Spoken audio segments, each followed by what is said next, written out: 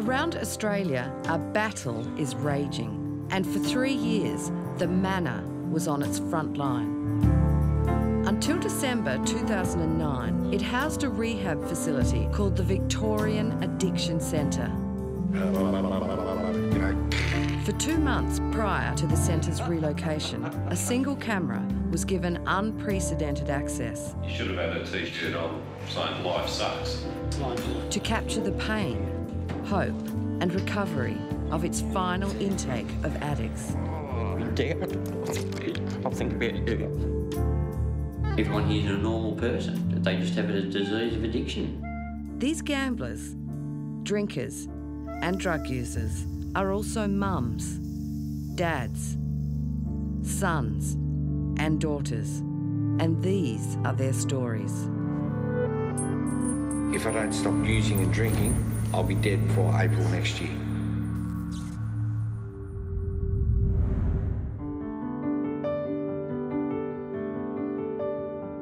Suburban Australia. A sprawl of wide streets and green lawns that lie at the heart of the Australian dream. But these neighbourhoods also play host to a sinister secret addiction. An estimated one in 10 Australian families have been touched by alcohol or drug dependence. Every day in our cities and our country towns, addictions ruin lives, tear families apart, and kill.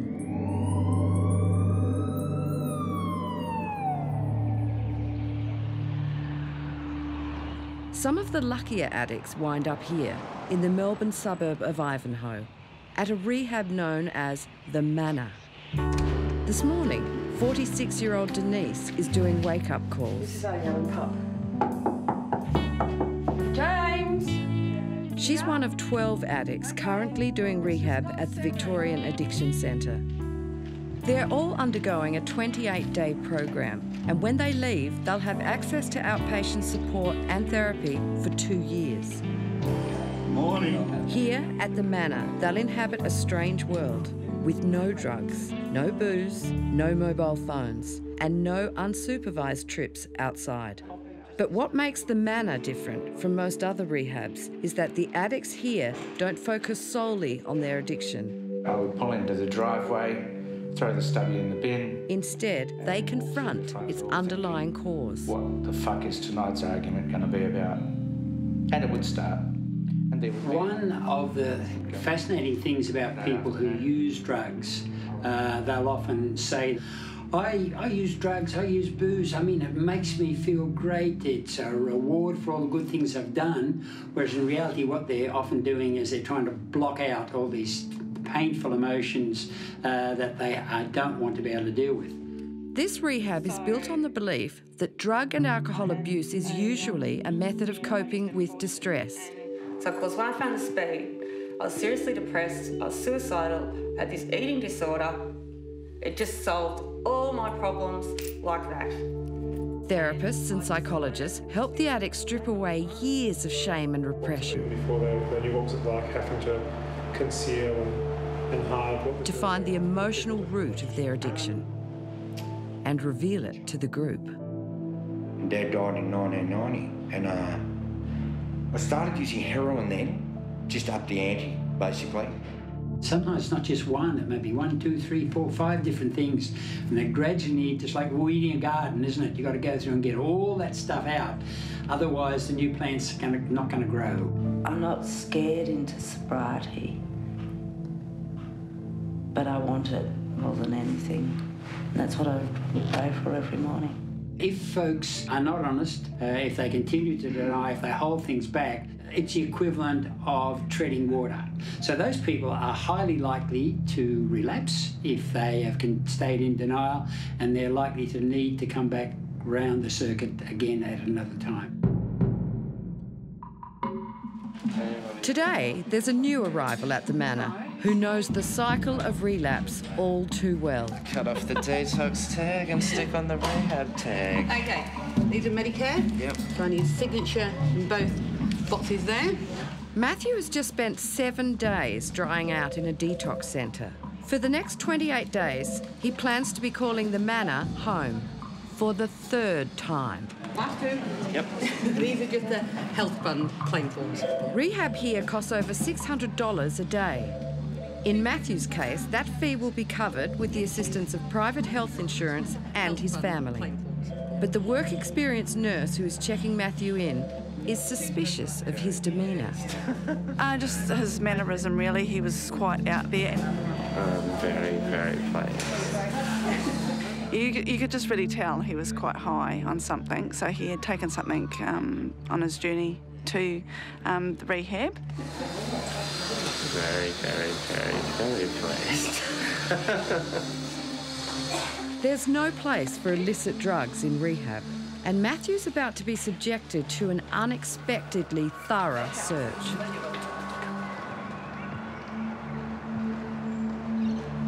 While one addict checks in, another is preparing to say goodbye.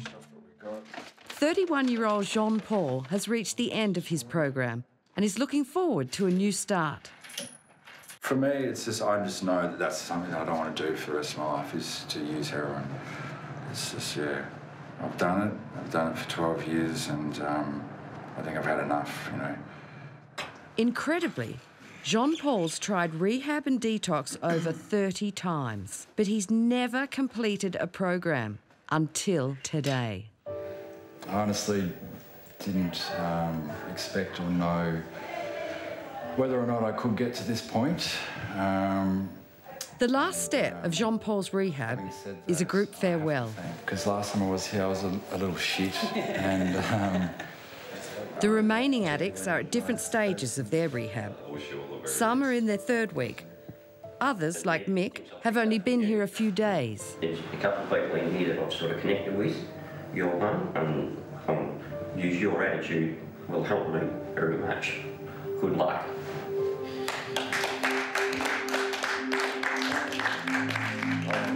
Good work. Good on you.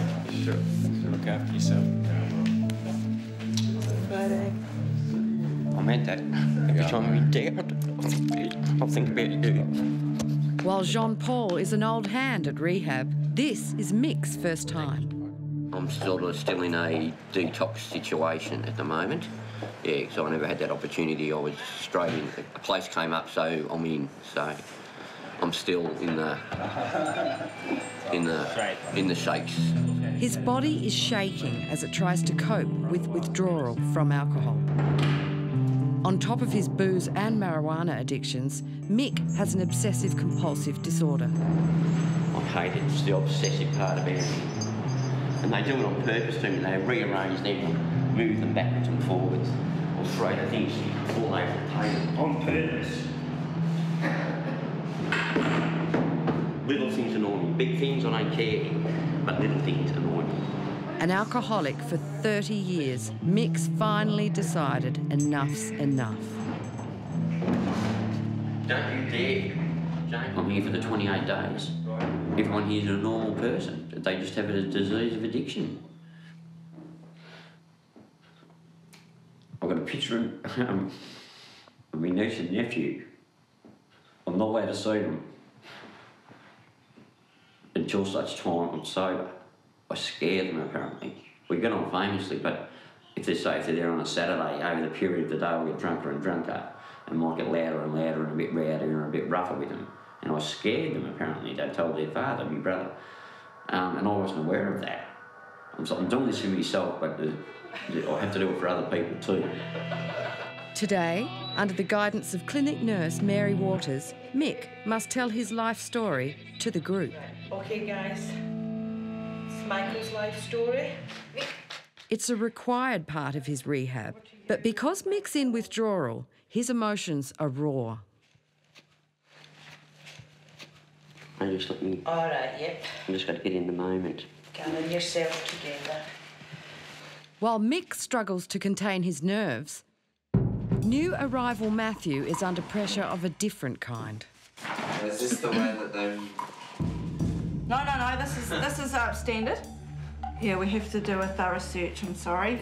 But in truth, work experienced nurse Bridget is searching for drugs a lot more thoroughly than his usual practice at the manor. She's also looking for other restricted items, like mobile phones or portable music players. They're banned because they discourage group participation. Last time, um, I went to great lengths to smuggle my MP3 player in in my jocks. but I haven't felt the need to do that this time. I don't know. It just depends on the nurse. Some people will do it exceptionally thoroughly, as our friend is doing now. Exceptionally thoroughly. and some people just, yeah, don't really bother all that much. Bridget's being hyper vigilant, so it's no surprise when Matthew loses his sense of humour. Um, where's he going with that? Sorry. Well, he's gone somewhere.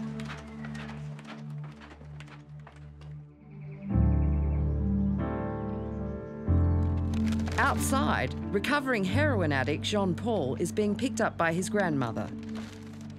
Before he leaves, he says goodbye to program manager Tina. Things will go well.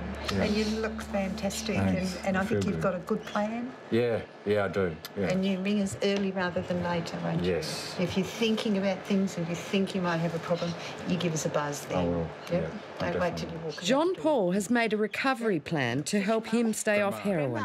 And Tina knows if he doesn't stick to it, he's likely to go back to using. Our expectations are that if people walk out the door and do nothing else, that 90% of them are going to relapse within a 12 month period. Addiction is a chronic relapsing disease. In fact, very much like uh, arthritis, asthma, and those illnesses, the relapse rates are very, very similar. And uh, what's one trying to achieve is long term stability, not a cure. There really is no cure for asthma, there's no cure for arthritis, there's no cure at the moment for diabetes, and there's no cure for addictions. Try to explore that. But like other diseases, Be aware when addictions can be managed. picking up judgment, The key is teaching addicts alternative coping skills. Falling into awareness, dropping into awareness of what is going on for you in this moment. Skills like mindful meditation, which has its origins in Buddhist teachings. We use psychological treatments. So things like cognitive behavioural therapy and mindfulness are very important ways in which people can understand their illness and change their behaviours. In fact, I can remember the first time. But before they can begin to recover, the addicts must be uh, upfront about every aspect of their addiction. Bottle of Stone's, green ginger wine. In the group therapy room, Mick has got a handle on his nerves and is narrating his path to alcoholism. He started drinking as a hmm. teenager and later joined the um, army. The culture in the military is very alcohol orientated. It's sort of, and in, in fact, it nearly becomes compulsory. It's you just drink, drink, drink, and drink. There's boozers everywhere. Wherever you go, there's facilities to drink. But Mick found out that hangovers and army drills did not mix. So he began using marijuana as well. But we had a room inspection one morning, and just a surprise one. I mean, um, they opened the cupboards and the bong was still smoking, and still coming out. So I was in the ship for that, and through the process, um, kicked out, which just supported me very, very greatly because that was my ambition, that was my career to be a career soldier. So I'd fuck that up. Sorry. Um, Mick fell back on his trade as a painter and decorator, and his drinking increased. the same year, I'd just come home from work, sit in the garage, just drink, drink, drinking. I'd, I'd have a third of a bottle drank in the in inside two minutes. I'd just guzzle it, you know, have a few more bongs, boom, boom, back in the room again, have another go. In the end, I didn't even put the top back on the bottle. I just left it there. Now, 49, Mick's paid a heavy toll for a lifetime of addiction. I've never had a relationship in my life, ever. It's probably because of obviously the drinking and that. My mum used to say, you probably come across Mrs. Right, but she probably stepped over you when you were passed out at some stage. So, yeah, it's um, yeah. But um, I'm here. My mother still lives with me in the house, and she's an amputee, so I have to sort of be on board for her now. had a brother who sort of vetoed my niece and nephew seeing me because I scared them and I wasn't aware of that. So, yeah, and that's why I'm here and hopefully I get to the end and yeah, it's about it. That's me in a nutshell.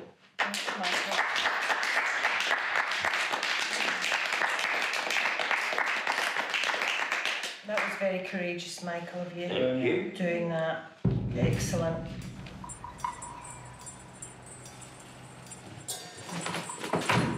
In new arrival Matthew's room, the search for drugs continues. This is unbelievable. Did you see just checking the collars on my shirts? Like if I wanted to bring stuff in, I just put it in my jocks, in my shoes, you know what I mean? Like, I'm, How does it make it's you feel? ridiculous. Violated? This search is unusually thorough, but if any drugs are smuggled in, it could jeopardise not only Matthew's rehab, but that of all the other addicts. It's very invasive, but it would be awful if, you know, um, there was drugs of some sort smuggled in and, you know, the clients that had just finished their program was given something or, you know, it would be awful. Despite Bridget's suspicions, they haven't found any drugs in Matthew's gear. So you know about the breathalyzer? Mm-hmm. I'm just going to do one of those, okay? After some medical checks, he'll be officially admitted to rehab. Till it beeps. Yep. Great. That's a good one. Formal therapy happens in the counselling rooms, but it's here in the courtyard that addicts relearn how to socialise without the aid of booze or drugs. I only drank spirits. I, I used to drink UDLs, vodka, and, you know, vodka and pineapples or whatever. I'll save a bit of money from not drinking. This afternoon, Mick is getting to know James and Tim, who both started rehab at the same time as him. You know, $150 And he finds some common ground. Well, I'm a drinker, but it's cough medicine. Mick, you might not believe it, but You should just buy a bottle of James. If you spend that much, why not get a bit of quality? got me high as a kite, don't you worry. Strange as it sounds, 32 year old Tim is addicted to an over the counter opiate based cough medication. Typical day would be driving around to pharmacies all over town, all over Melbourne, because um, you couldn't go to the same pharmacy all the time. So I would be pharmacy shopping, and because it's an over counter medication, but you take it in large enough doses, and it's um, very effective at achieving a high. In the group therapy room, Tim describes how drugs have cut him off from the world. Just uh, isolate from my friends. I turn my phone off. Yeah. I um, will not tell my parents what's going on. Um, We're very good at setting up our environment for use, aren't we? yeah. Yeah. And you, um, you just won't contact anyone throughout the day and just have this, you know, be in a little bubble, you know, and just be happy and content to take your drugs and be in this little bubble and stay in it all day. As soon as you But get now disturbed- Tim wants to get out of that bubble for good. There's too many things that I want to do in life, and I'm 32 now, and you know I don't want to waste any more time because you just end up existing when you take drugs, and you don't. You're not living. Well, I'm Ben. Matt, I've been looking after you while you're in here. We've met. It was a while ago, wasn't it? Yeah. New arrival Matthew has had a visit from GP Ben Baresi. Have you, you've, how many times have you done rehab before here? Twice. Okay. Well, well, just in, in your own words, tell us a little bit about why you've come back to us then. Like, I need to get a, a booster shot of recovery. Like, I've just been relapsing flat out basically since I left. Matthew's fighting an addiction to codeine pills, and lately he's been binging on alcohol and marijuana. How much um, how much have you been drinking recently before you went into Vic Clinic? Um, probably sort of two litres of fortified wine or a bottle and a bit of scotch or yeah, it's pretty heavy. I've been Mm. drinking more than more than I ever. Like I used to drink a lot of cask wine, but it just didn't get me. Like I physically couldn't drink enough liquid to keep up with the amount of alcohol that I wanted, you know. So I had to swap to fortified wine or spirits. It was the only thing that did the job. Okay.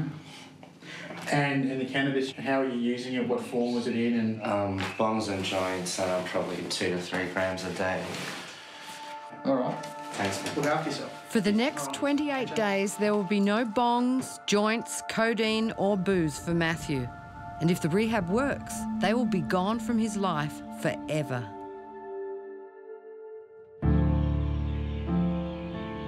It's a new day at the Manor.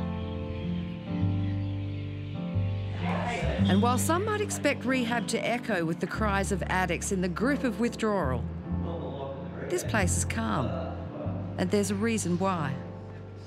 Every morning, the residents line up to be medicated. This is the worst part, waiting for your medication in the queue. You know you want them and you, you sort of get impatient, you know, especially if the person in front of you is saying you're getting vitamins or something. Mick's taking vitamins too, but he's also on sedatives for his withdrawal symptoms and another drug to deal with his anxiety. Thank you. Look at the size of that brown thing. That's a, that's a big multi-B vitamin. Mm. Clients who are prescribed drug substitutes, such as recovering codeine addict Matthew, can also take them while in rehab. I think we're um, actually the only one that will leave people on their pharmacotherapy. Um, yep, thanks. Maddie.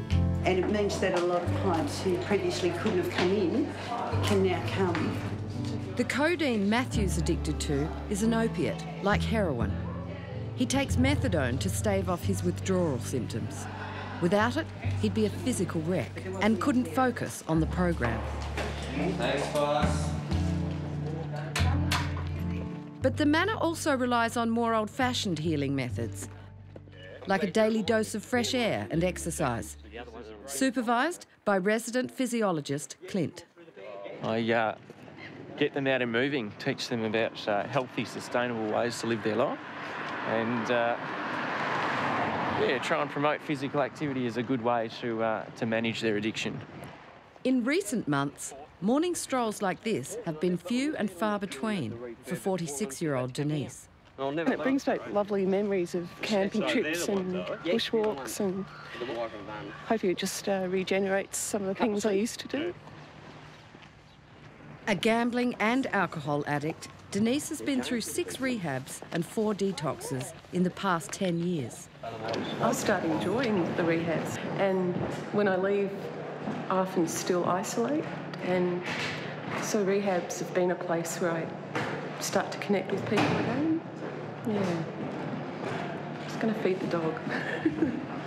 A dog has strayed into the centre today, and Denise has decided to make friends.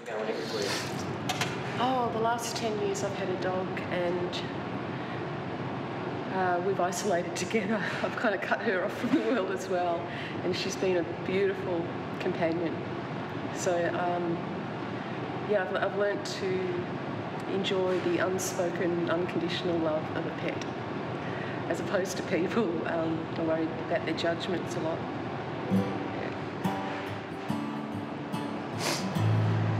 I'll have to find the dog. Denise's addictions have gradually chipped away at her life. She's gambled away her house, has few friends, and now lives in a homeless shelter. She's everybody's best friend.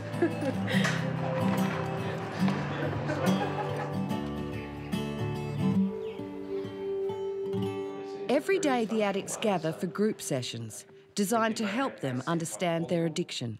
The group itself, the group therapy, is a very powerful way in which people can look into their own behaviour, get feedback from other people, and assist other people. When you're an addict, the last thing you want to do is admit it. Today, Clint is hosting a discussion about denial. Shout, intimidate in order to get our point across. Uh, and so on. The, the, Have you been drinking? No. yeah, so we just deny.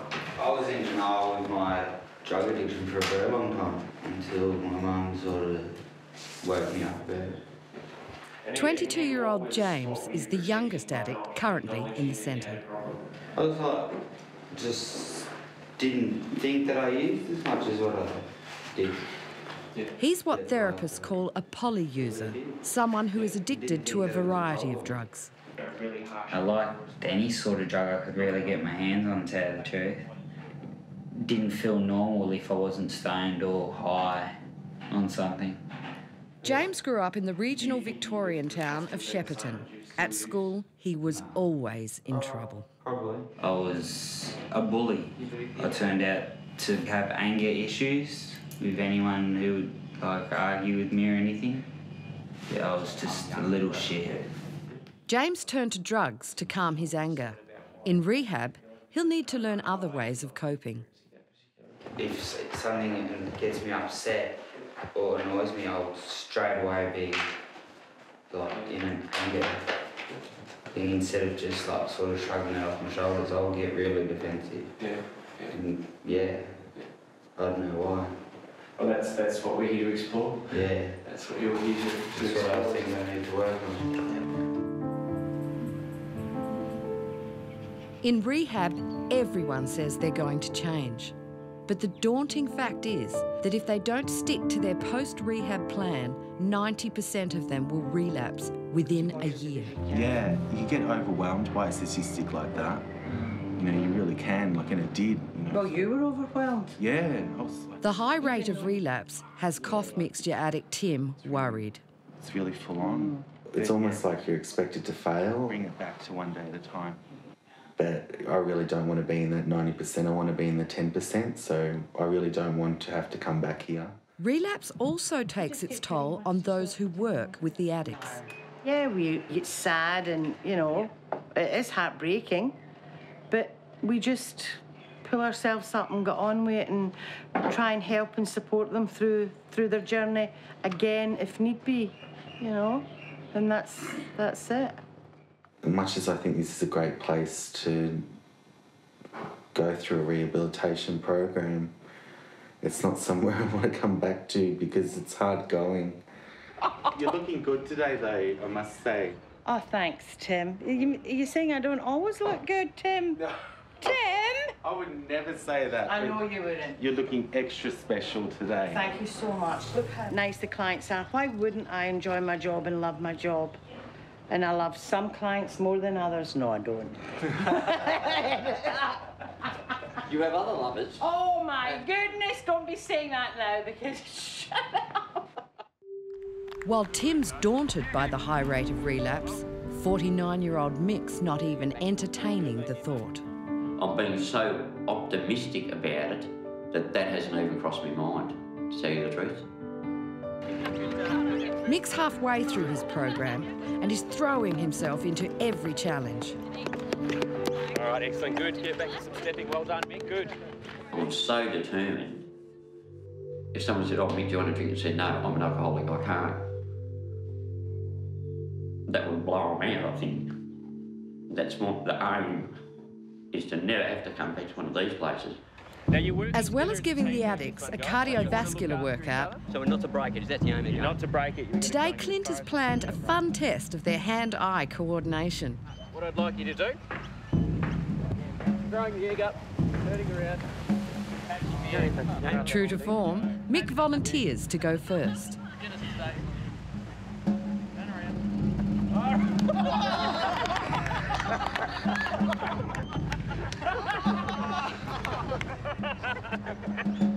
Well done, Mick, for having to go. Well done, good work. But um, yeah, it was, I'm blaming the sun on that. That was Back yeah. at the manor, the egg blame the incident sun on has that. not dented Like, Mick's well- determination. I'm not coming back. Not like the other people here, you know. If the first four people I spoke to here have all been here before, you know. People have been to detox 13 times in and out of rehab or detox. It's ridiculous. I'm doing it once. Be careful of the mentality of saying never again, because there's, there's just a management system and, and try not to put sort of Mm. all the time or, or none of the time. Those, those real drastics, try and, try and find a happy medium Yeah, if you can. yeah, yeah. But Mick's so determined, he's planning a permanent reminder that his drinking and drugging days are over. Denise has got a book here on Japanese, and I've picked out a few appropriate words, and I'll just have it tattooed in Japanese characters on my arm, so it's always there just for me okay. to re a reminder. The tattoo is something that you can't get rid of. It's there for the rest of your life. Every morning, every night, every time, every waking moment, that tattoo will remind me not to come back here.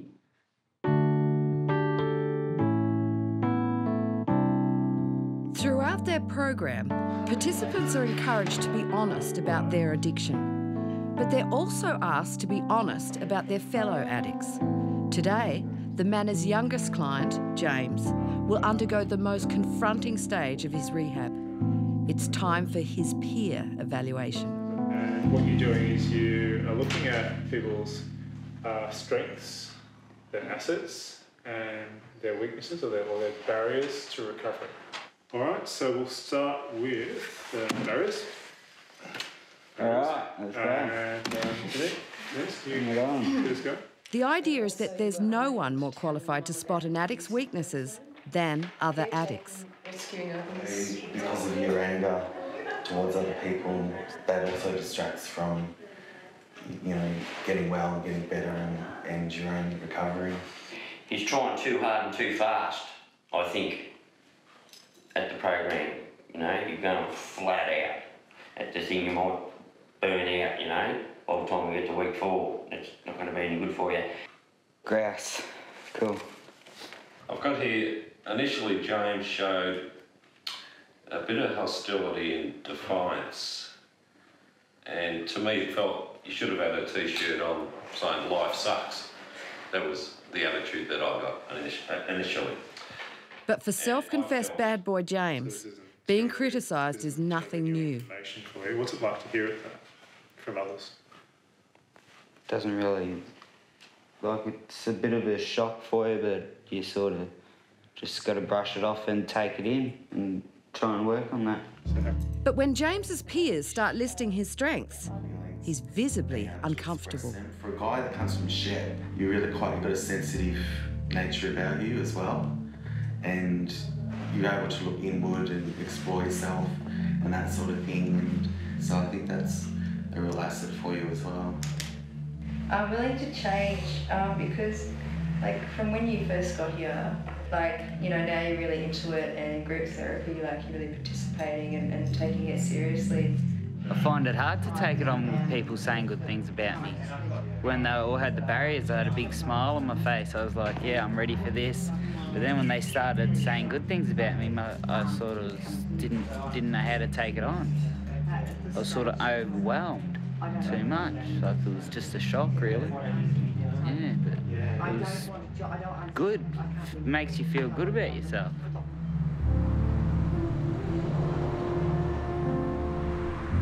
Most addicts don't make good tenants, so finding a place to live after rehab can be a huge challenge. These people in uh, any rental accommodation are always at risk if they become intoxicated of being asked to leave because of their behaviours. And uh, we have certainly have had people we try to help that have burnt their bridges in their own family and with most of the supported accommodation that we can find around the place. And some of them we've got to start sending interstate.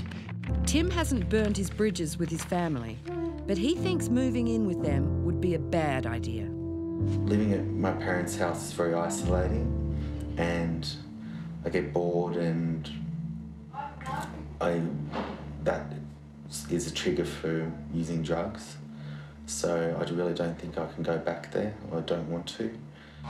So he's meeting with Brian Cox, who runs supported accommodation for recovering addicts. Why am I in the shit all the time? Why can't Brian is a former alcoholic himself, and he's dedicated to helping other addicts get clean. I was the most hopeless, useless drunk that walked on God's earth, you know? If I can do it, you can do it. You're nowhere near as bad as me. Hmm. I'll tell you that now. I mean, In I've Brian's houses, recovering addicts live with each other and support each other. Yeah. You know, I need to be around people that are, you know, focused on the same thing as what I want to focus on. Because out there, you know, I've just so much time on my hands. You know, and um, We've just opened up a new house and, um, you know, it's got an inbuilt swimming pool. It's a beautiful house. Yeah. You know, what we generally do is give a person a week or a fortnight's trial. Yeah, that's And, you know, um, through that. And, you know, you can see how you go, you know. yeah, give it a trial, a couple of weeks. Yep. Sounds good. See you later, mate. Thanks a lot. All the best. Tim's had a lucky break that should help him stay on the road to recovery. that was good. Yeah? Yeah. What do you reckon? I reckon it's great. I've got a good feeling about it. So, yeah, and you know, he's pretty straight to the point, but seems like a guy that does have a heart of gold. You know, taking people in and we'll see how it goes. While Tim's looking to the future, Denise is about to delve into the past. It's her turn to tell her life story. Hopefully, this will be a, a uh, dry eyed. Have we got tissues, Mick, just before you... A former teacher, Denise began drinking to calm her nerves in the classroom. I, I wasn't an authoritative teacher at all, and the combined force of that room of kids just used to overwhelm me. So I used to drink, and I remember walking around that college with um, a wicker basket and a cover on it and alcohol in there, and um, it was like My Fair Lady, you know, instead of flowers, was a bottle of alcohol in there. Um, Denise's drinking became compulsive, and then at the age of 36, so did playing the pokies. And I lost a lot of money, lots and lots and lots and lots and lots of money. You know, there's nothing left. The flat, the car, the term deposit, the shares, I gambled the whole lot. But that made me feel good, actually. It, it always acted as a relief because it brought me down to, ah, I'm, I'm a failure. Great, that's all right. Declared bankrupt, Denise decided to find another hobby and enrolled in a drama class where she met her friend Karen. And I did six months of the drama course without one bit of alcohol. Um, but the first night we did a public performance, I was I found a back room and I was guzzling alcohol and Karen walked in. I told you this, and that's the first time anyone had ever seen me drinking. And it, you know, I was caught mid like that. Karen saw that Denise needed help and, went offered home- her I a place to stay. This is the first person that really had taken an interest and had seen my problem. For the um, next 10 years, Denise lived with Karen and Karen's mother, Dossie, and, her gambling saw her and her addiction continued. And after seven years, the bankruptcy ends. The day it ended, I got all these prepaid credit cards in the mail. I got about six of them already with a credit limit. What do I do? I go out, use them all, gamble again. Uh, Before long, Denise had dragged her friend into debt too. But we had no money, um, and we were having Salvation Army come round with um, was it, food coupons and um, just thinking of the damage I did to Karen. Karen realised she could no longer support Denise's addictions and had no choice but to ask Denise to move out. So now I'm living in a women's shelter. Um, it was advertised for homeless women with mental health problems. And that's it.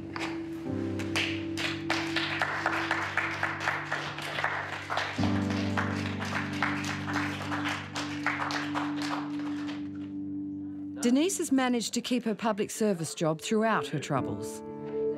Yet she fears she's lost her best friend.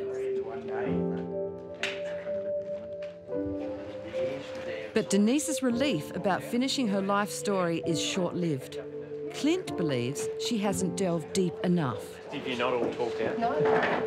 He sensed that she's still keeping secrets about her addiction, and he knows she won't recover if they're not confronted. I think you did really well. I think it was a really honest account of your life story, and um, I think there's still a bit more there. I think, but you've let us, you've kind of brought the barriers back a couple of steps and, and let us in as close as we've been in a, in a while. I don't know how to get to the other bits. They might come with time. I, yeah, I, I think sometimes it's, it's something that I've noticed is that you are not willing to take a risk for fear perhaps of how other people might respond. Would you, would you point that out to me if you see yeah, it? absolutely, absolutely. Uh, it's probably just like my arm. I don't know I do it because I've done it for so long. Inbuilt response. Yeah. For now, Denise isn't ready to open up any further, and that might make her vulnerable when she leaves rehab.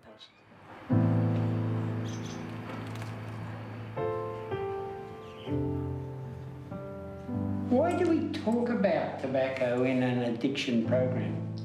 It's an addiction. Yeah, it's an addiction, isn't it? Every week, Professor Whelan hosts a lecture. Today, the subject is the addiction that kills more people than any other smoking. Five million people die each year worldwide from tobacco related illness. But Professor Whelan is wasting his breath on 24 year old Matthew. And the main gas is carbon monoxide. I'm not here to be hassled about smoking, and I've seen it two times already, and I'm just not interested. Uh, you know what I mean? Like, I've got much bigger fish to fry than cigarettes right now. Rehab here at the Manor relies on addicts drawing strength from the group, but Matthew's found it hard to fit in.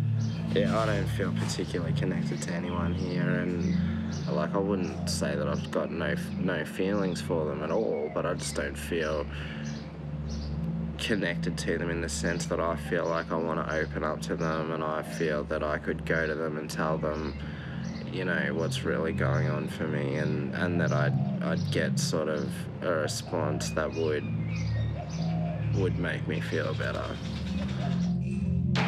Matthew knows how hard it is to kick an addiction, and he doesn't rate his fellow addicts' chances.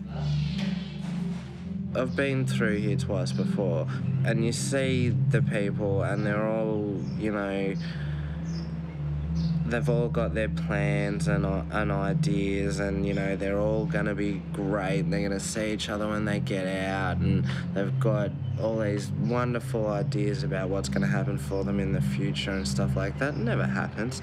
90% of people bust within the first week, and, and I can guarantee I could pick out a few that I know are just gone. Like I know from the way that they're thinking, from talking to me and thinking about the future, um, that they're gone. So, how does it make you feel then about your chances of success when you leave here?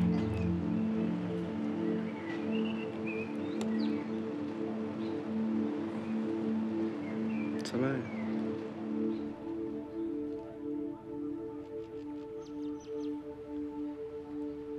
It's Sunday, and here at the Manor, that means Visitors' Day. It's a milestone, you stuck it out. Yeah, it's one of the hardest things I've done in my life, for sure. You know, and as you said, there were a couple of days. While Tim's talking to his mum about finishing the program, young poly addict James has guests of his own. His mum Margaret and stepdad Ross. To hear people actually say that you are genuinely like a very nice person, that you are good and everything. They've noticed a big difference in James. His acceptance or his attitude has changed dramatically. Three weeks ago, dialogue like this would have been impossible. Had the phone in one hand. You would have had the phone, or I would have wouldn't have been able to just keep a steady conversation about compulsion to go into your mates in town. Yeah, to go and do other things. You know, this is the first time we've seen this sort of attitude in him that that he's understanding where he is and what he needs to do to to fix it, and that mum and dad aren't so silly after all. You know, some of the things that, that we've said. Yeah. Are um, actually true. You know, we're fairly straight sort of people, but we do understand where you've been and what's happened to you and all that. You know, you, mm. you realise a lot of these things. So. And it's finally dawning on James that his addiction has taken its toll on his family. Well, I've put him through a lot of stress, and I know that. And you don't realise that until you come to a place like this, how much stress you've actually put on him. You think, far out. Oh, oh, I should have listened to him, should have listened to him, but you think you know better.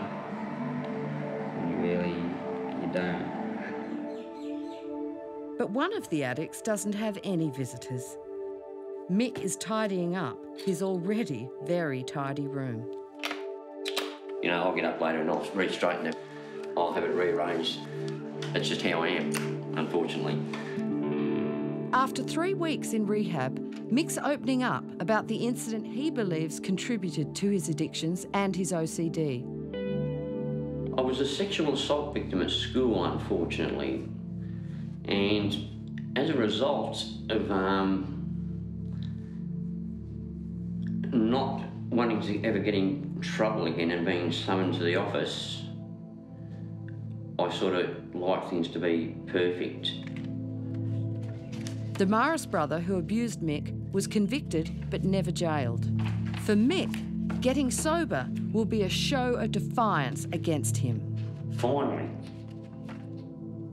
that will be my win to get over this, get over this problem, which he started in the first place. I will win. I've, I've achieved something, and I've had, I've achieved a goal, and I've had a win, and that's the whole point of being here. And then oh, I'll get on with the rest of my life, which is stage three. Enjoy it. Denise was also expecting to be alone today. But she's had some surprise visitors. Her longtime friend Karen and Karen's mum Dossie. She's, she picked me up something down the, the street.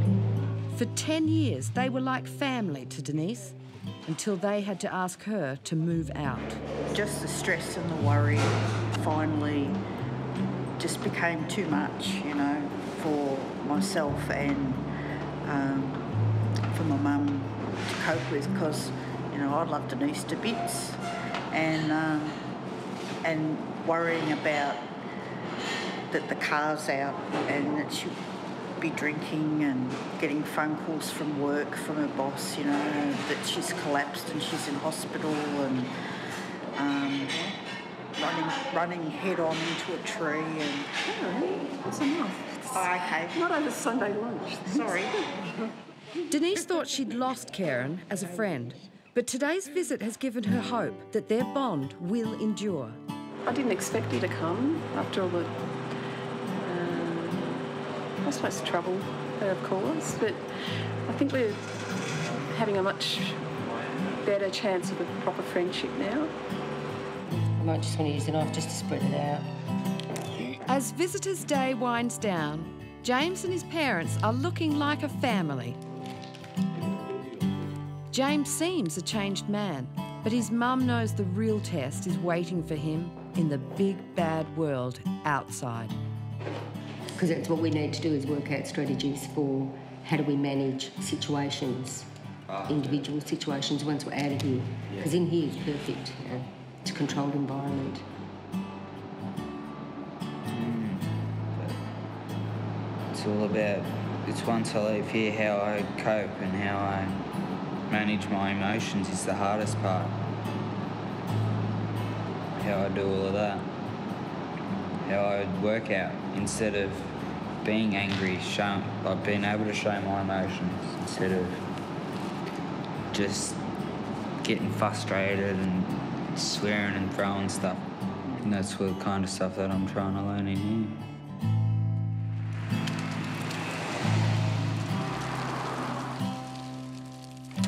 I'll put it as a footnote if I'm not working Saturday mornings.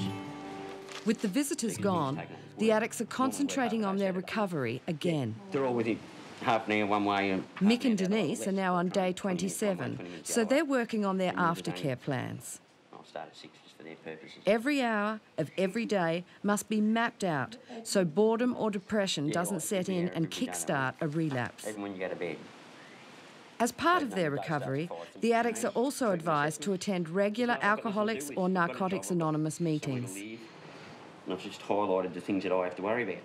While Mick's completed his plan, Denise has barely begun. I thought you had had yours done. Did you? Yeah, I was going to cheat off you. No, I'm not good with small boxes. Big ideas in small boxes. Meanwhile, some unwelcome news has turned James's thoughts to the ever-present threat of relapse.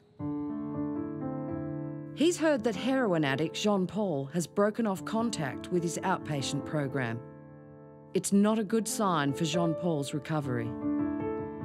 He was like, probably one of the biggest inputs to my change from like listening to some of his stories of what's happened to him through his days. I don't want to go through the same line of same type of life as him. I want to only be in here once and, and get on with my life and start a career and everything.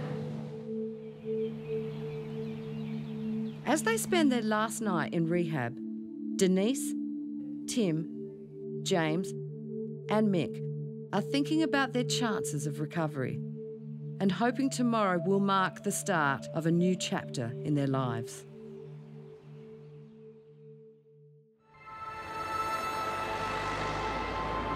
Dawn breaks over the Victorian Addiction Centre. It's a day when four of the addicts will finish their program and be released into the world outside. But I'm just looking forward to it. Home cooking. Mick's preparing to say goodbye to the friends he's made in rehab. You don't know him from a bar of soap, you know, 28 days ago, but you do become quite close because everyone's in the same boat, especially the other two that started the same day, the program the same day as me. We're really close. Denise is also at the end of her stay and believes she can stay clear of the drink and the pokies. I'm coming to see that you can come to a place like this, take the messages, start to put it into your life, and just resume your life. How are you feeling today, James? Tim's waking up his friend James. Wakey, wakey, hands off, Snakey. They've both come a long way in 28 days, and now it's time to put their new skills to the test. Once you leave rehab, that's when the real work starts. Once you leave rehab, you walk out the gates and you know you're on your own really. You've got to take what you've learned from this place and put it into practice. All the best, mate. You look, look after yourself. You've got to be able to get through this. These four addicts have spent a month supporting each other, but from today, they'll all be on their own. My God, this is big.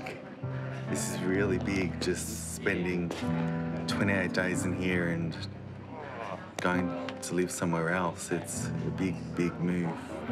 I want to continue on with the stuff that I've learned here and continue on in life. Oh, you take care, be careful, be very, very careful. Okay, dude. Yeah, you just be careful. I don't want to get back into drugs. I've been through that stage in my life and I don't want to end up back in another rehab for 28 days and be stuck here for 28 days thinking far out, why did I do it again? Come here, you.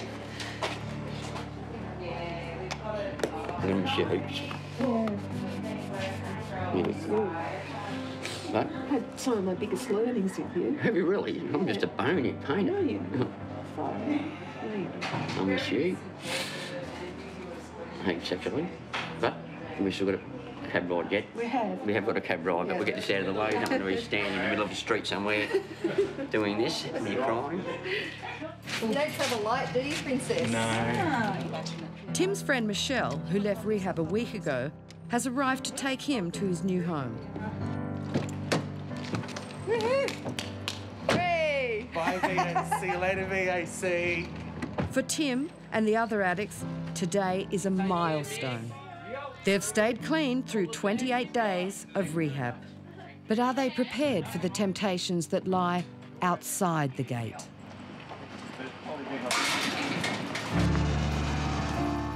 Next time on Addiction, the recovering addicts return to their homes and their routines. This is where the stuff I've learned needs to be put into action.